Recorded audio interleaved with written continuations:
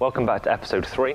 On this episode of the Electric MX5, I'm going to be looking at the underside of the car, cleaning it all down, finding all the hidden bits of rust, which quite a few of you guys have pointed out locations to check. Um, I've got to look at the driver's side sill. That's definitely going to need some repair work. I'm definitely going to need to cut that back and start looking at welding a plate in. And then I'll get that finished on episode four because there's quite a bit of work to get on under here. We're going to head upstairs and see Josh, see how he's getting on with the CAD design work, and have a look at some of the weight distribution because quite a few guys have asked how is the weight going to be distributed. So we've had a bit of a, a change around, so we'll have a quick look through that. I'm then going to fit our Powerflex bushes that they've sponsored us, and I'm going to do a tech talk on the Hyper 9 motor to go in a bit more depth how it works, the voltage ranges, the performance, and the weights, etc. So as normal, hit the subscribe button and let's go. These off before.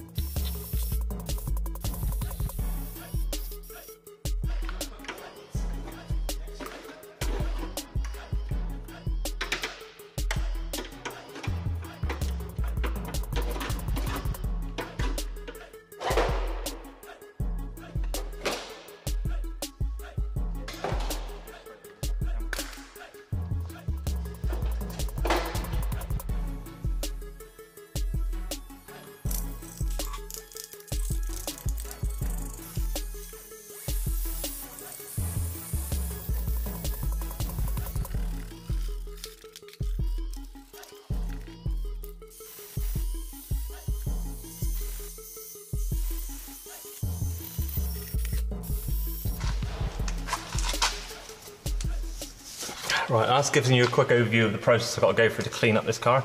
I've still got a lot of work to do on this to get it all cleaned up, get rid of all this little bits of surface rust before it's etch primed in those sections and then the whole car gets undersealed. We're now going to move on to tackling this outer seal.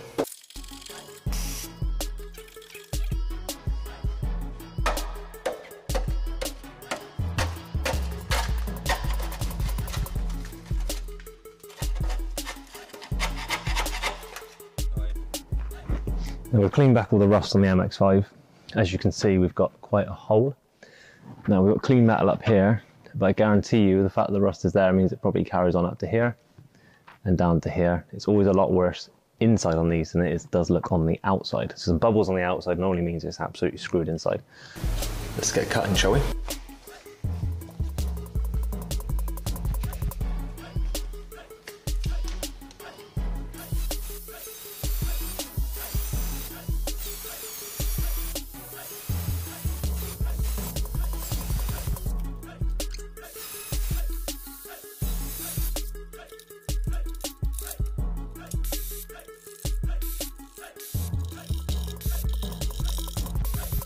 Finally got to the point where we haven't got rust here. Finally.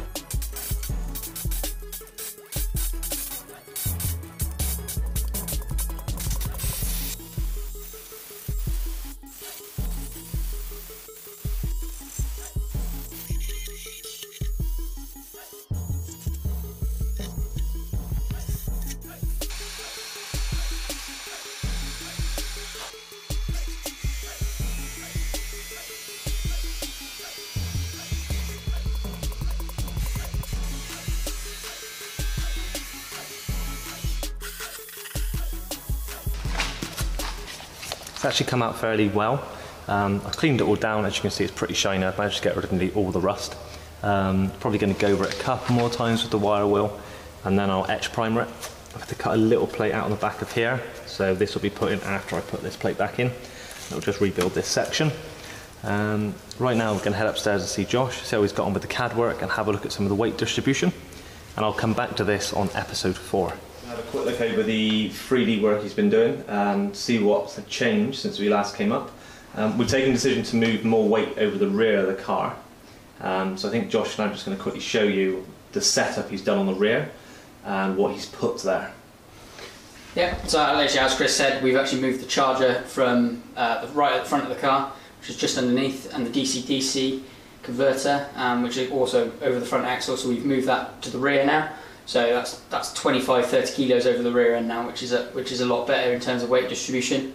Um, and it just tidies the, the, the look of the front end, so it's just going to be one nice battery box and the BMS, so it's going to look really tidy as well. Um, Can you uh, zoom in on the uh, the bit you've Yeah. done, just so we can quickly see the layout? As we have got battery, battery charger DC DC, and we've got a little junction box, I think, haven't we? Yeah, so all of this is going to have captive nuts on, so everything's going to be easy accessible. You're not going to need nuts, spanners, ratchets, all that. Um, and everything's going to be removable from the top hatch if you ever need to service it or remove anything in the future. So everything's going to be easily maintainable. So that's the hatch that's behind the seats, isn't it? I think Yeah, there's a, that's can a Little panel. uh, silver panel you can just pop off Cool, cool. and you can get access to all of that. Fantastic news, fantastic news. So what we're going to do now is Josh is going to quickly zoom out on this, and I'm going to talk through the weights um, and how it's distributed throughout the car, so the weight of each, each item, so just so you guys can start to understand that how the distribution is going to be on this vehicle. We have 140 kilograms battery pack complete. Motor, gearbox, controller comes to 75 kilograms, and the battery charger DC to DC plate comes to 30 kilograms, giving us a total of 245 kilograms. Thanks to Powerflex for sponsoring this build.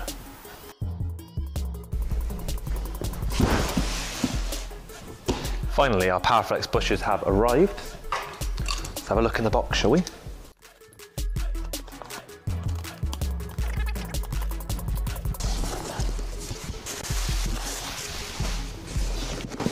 Lots of bits.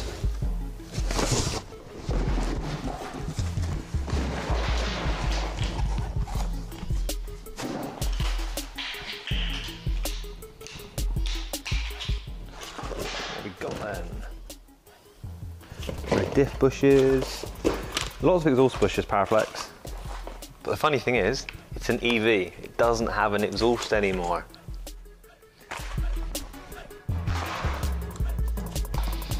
Right then, I suppose I should go through this now, work out what goes with which arm, and get started. So I now have everything laid out. As you can see, there's a fair few to fit. Bushes come neatly boxed, and everyone says along the top what it's for. So this is front wishbones, which is this one. Get fitting guide. Very important assembly, waterproof grease. And you get your inserts and your bushes. Now they've actually redone, well, not redone the design, but the Powerflex design actually has a cross hatch internally, which is really good because it maintains and holds the grease long term. So at least in a couple of years they're still free and they still move, and you haven't pushed all the grease out when you insert the pins. Right then, let's start getting these fitted, I suppose. Now time to get our first set of bushes fitted. See if I do this right, shall we? But I'm sure you guys will let me know in the comments if I don't. So we have our relevant bushes. What we've done when we clean these up, we've cleaned out all the bore holes just so the bushes press in easily. Now go directly off the instructions. You insert these into the arms without any grease on the outside. Once they're in, you then lube up the inside of your bush and insert your piece of metal.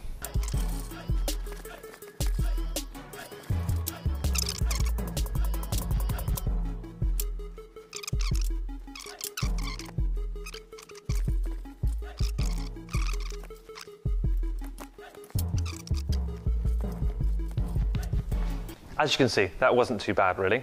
Because we did all the prep work up front, cleaned everything down, the bushes went in really, really easily, just using a vise.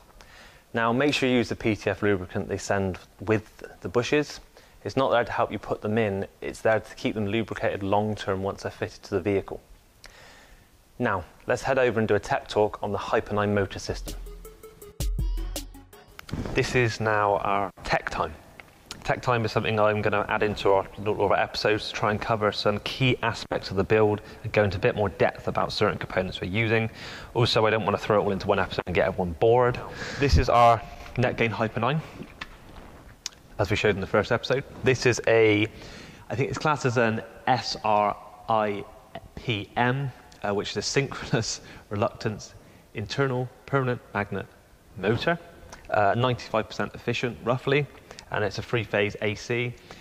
It's pretty much a fancy fixed magnet motor, which I'm sure someone will tell me off for saying that. Um, and it comes as part of a kit, which just includes the controller, coolant plate, and some other bits, which we'll go into some more depth on in a minute. Now, this motor is 95 kilowatts peak. We class it as 80 kilowatts peak because that peak of 95 is for a very, very short period of time. Uh, minimum voltage is 62 volts, maximum is 132. Does up to 8,000 RPM. Uh, and it weighs 58 kilos, so it's quite heavy. Um, can't lift this. I can't lift this by myself. If I do, I put my back out. Um, it does regenerative braking as its AC, and it's about 220 newton meters of torque. Now you get it as a kit, which comes with, as I said, the motor, the controller, I/O looms. Uh, you get a couple of other connectors, and you get a uh, contactor. So let's have a quick look at the controller. So this is controller slash inverter. So the benefit with the Hyper 9 Netgain system is you have a controller inverter as one piece. You don't have to have a separate vehicle control unit. It's all done within here. Um, so this also takes in your throttle, brake signals, um, gear selection, so drive, neutral, reverse, all that sort of stuff. You've got your negative and positive battery just here as well as your three-phase outputs to go to the motor, and then that's your main I/O loom, which is a 12-volt input. You also have ignition live, CAN bus, lots of things like that. Now this is really good because it'll also interface with our Orion battery management system, and if the Orion tells it it's getting low on charge the batteries are getting too warm, it will help. It will tell this information on the CAN bus. This will then limit the motor down, so you don't do any damage to the batteries. It's aluminium on the back, so you can buy it with this coolant plate which you basically apply sealant to, you seal it onto the back of here. Um, we recommend running it with coolant all the time because you don't want it starting to limit if it gets a bit too warm. It's no fun if things start limiting down when you're having a bit of fun. This is the I/O loom that comes with it. Um, it probably looks fairly daunting to a lot of people. It's a 32 pin, I think, AmpSeal connector, maybe slightly more than that, but it looks like a 32 pin. Um, it's a lot of wires it's not that bad. Once you look through the wiring diagram and you work out what you need, what goes where, and you split it all up and label it, it's not that big a task. It really is okay. Don't get put off by a bit of wiring. I said, part of the kit, you get a little relay to Ignition Live. You get a couple of connectors, which is your temperature and your encoder. Now, I don't think it's classed as a encoder on a DC fixed magnet motor. Um, basically, what it does is that will tell the controller at what point the motor is, so where the motor is at any point. So then it, we've also got a serial to USB connector as well, which you then use with your I/O loom and your connector, so you can then do programming. So it has a really good software with this that allows you to set everything up. So you can set up your throttle, you can set up your brake, you can set up your regen amount, um, you can set up your display output data. So this will actually output CAN bus um, for a couple of different display options they offer, which is really, really good for different vehicles. Now we're going to take that display output out and we're going to put it into another little computer to then reanimate the original display, but they do do aftermarket displays for this. Um, now, Netgain, who produced the Hyper 9 motor, they have a series of dealers worldwide. So you can talk to any of them worldwide. So wherever you are located in the world, um, as I know we have a lot of viewers all over the world, you can probably get this in your country. Um, you could probably get support support in your country to do it. Also, have a look at the forums. There's loads of these have been used over the years because um, they're quite a common motor. So I'd recommend you have a look on the forums. The other benefit is with the B face, which is a type of face on this motor and the keyway, um, it's a really common face basically. Um, there's loads and loads of adapter plates to go onto original gearboxes that have been produced for the B face. Um, as the AC50s and all those other motors, the slightly older motors, had the same face. And when Netgain brought this motor out, they kept the same face to make everyone's life as easy as possible. Now, please leave a comment below if there's anything else you'd like me to cover. Um, so then I can add it into the next tech time on another episode. Um, and if we keep doing that, at least I can make sure I try and cover all the questions you guys have. Now, as normal, please hit that subscribe button if you haven't already. Give us a thumbs up, maybe share us on social media, and make sure you come back for the next episode. Thank you for watching.